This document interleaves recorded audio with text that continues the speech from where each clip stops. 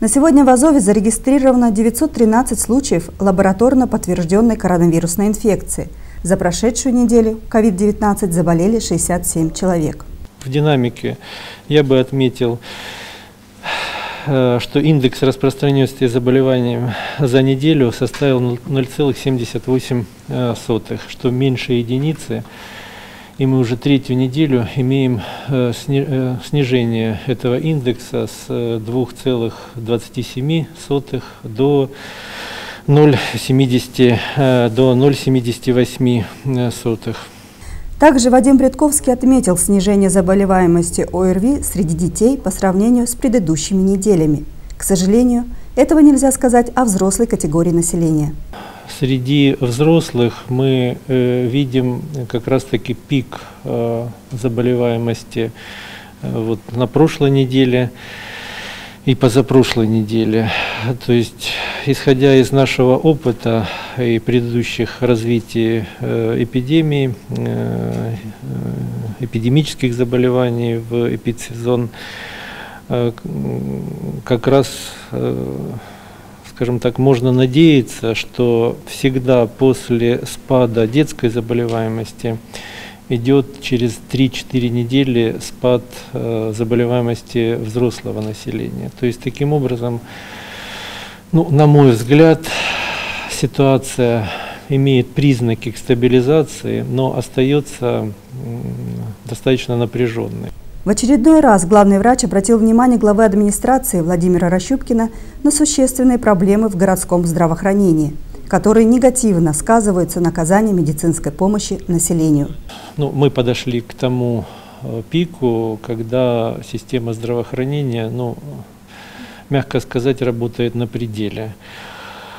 Э, у нас выбывают доктора, это самая основная причина того, что иногда мы задерживаем оказание медицинской помощи. Но э, в целом система здравоохранения справляется. И еще один такой серьезный вызов – это то, что количество пневмоний, то есть как последствия э, острых респираторных заболеваний, Э, скажем так, очень большое. На вопрос Владимира Рощупкина о количестве работающих в настоящее время врачей Вадим Редковский ответил следующее. По первой поликлинике это три доктора из 12. По второй поликлинике это три доктора из восьми по детской поликлинике 6 докторов из 9. О динамике заболеваемости в общеобразовательных и дошкольных учреждениях главу администрации проинформировал ведущий специалист управления образования Александр Ковалев. По состоянию на 28 число количество заболевших в общеобразовательных учреждениях среди обучающихся составляет 664, что 7,2%. Э, у нас положительная динамика. 23-го было э, заболевших 799, что составило 8,7%. Среди э, персонала на 23 65 заболевших, что было 9,5%. На 27 63 человека, что 9,2%. Среди обучающихся динамика лучше, чем среди персонала. Э, в дошкольных образовательных учреждениях ситуация э, стабильная, есть незначительная тенденция на улучшение. На 28 детей, не посещающих общеобразовательные учреждения, 334, соответственно 7,6%, э, сотрудников 87, что получается 80 8,5%. В свою очередь глава администрации поинтересовался, до какого числа у школьников осенние каникулы и рекомендовал продлить их до 10 дней. На последнем заседании регионального штаба главным санитарным врачом э, Ростовской области было озвучено предложение сделать продолжительность каникул не менее 10 дней. Здесь обсуждений никаких нет. Минимум 10 дней.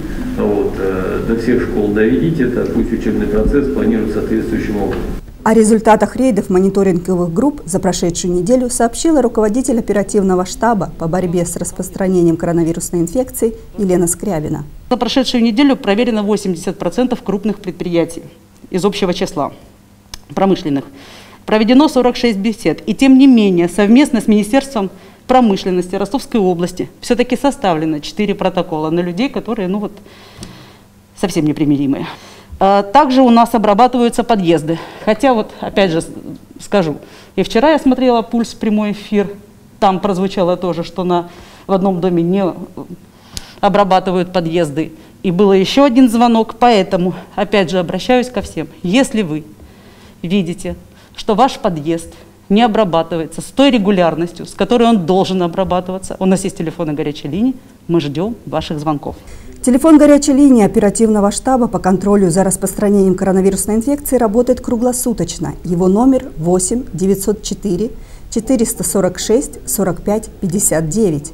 Что же касается жителей Азовского района, то они могут обращаться по телефону 4 55 44.